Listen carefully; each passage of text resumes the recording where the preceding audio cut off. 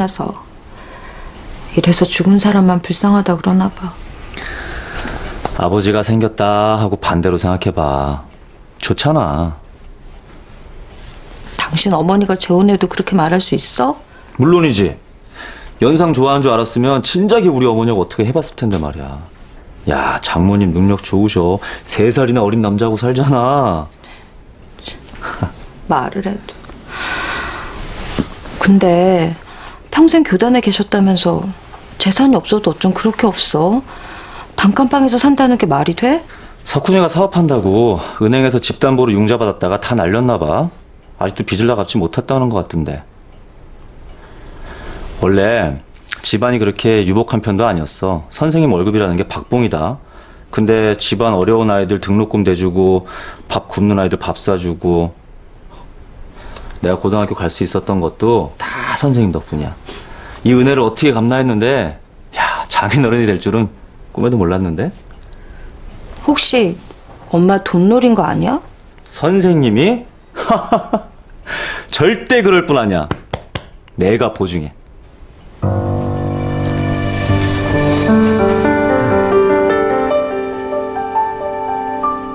방금 도착했어.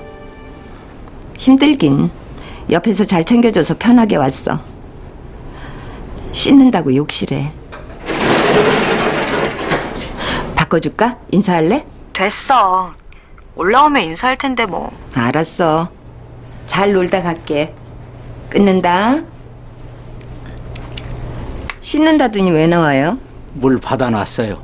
따뜻할 테니까 먼저 씻어요. 안 그래도 되는데. 됐어요. 먼저 씻어요. 자, 그럼 같이 씻을래요?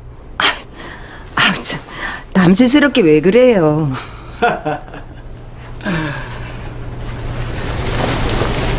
잊었어요? 우리 이제 부부예요. 어, 부부인데 뭐 어때요?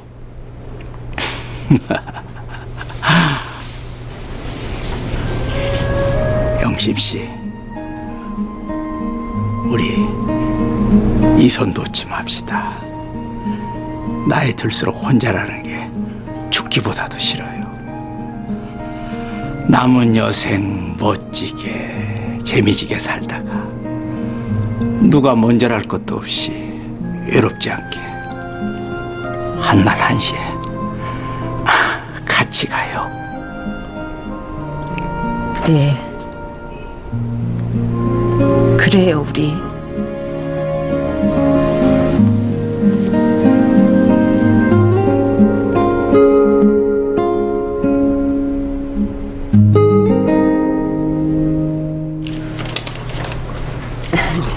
계산을 잘못해서 미안해요. 안녕히 가세요. 웬일로 여기까지 왔어? 좋아? 좋다니? 결혼해서 좋냐고. 좋아? 별걸 다 물어. 그게 궁금해서 여기까지 왔어? 엄마 소원대로 결혼했으니까 내 소원도 들어줘. 호적에 엄마 배우자로 아빠 말고 다른 사람 있는 거 나 싫어. 엄마가 좋아해서 결혼은 반대 안 했는데 혼인신고는 안 했으면 좋겠어. 그래 줄 거지? 혼인신고 했어. 언제? 신혼여행에서 돌아온 지 얼마나 됐다고? 결혼식 올리기 전에 했어.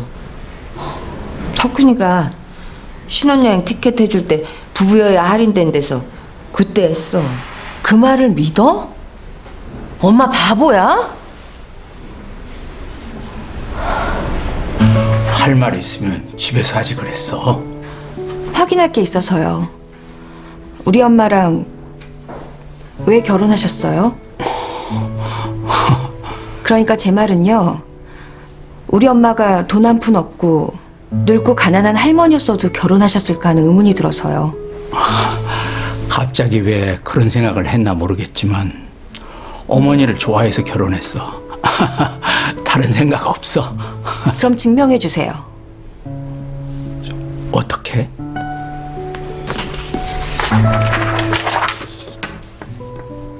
엄마가 가진 재산 전부 포기하겠다는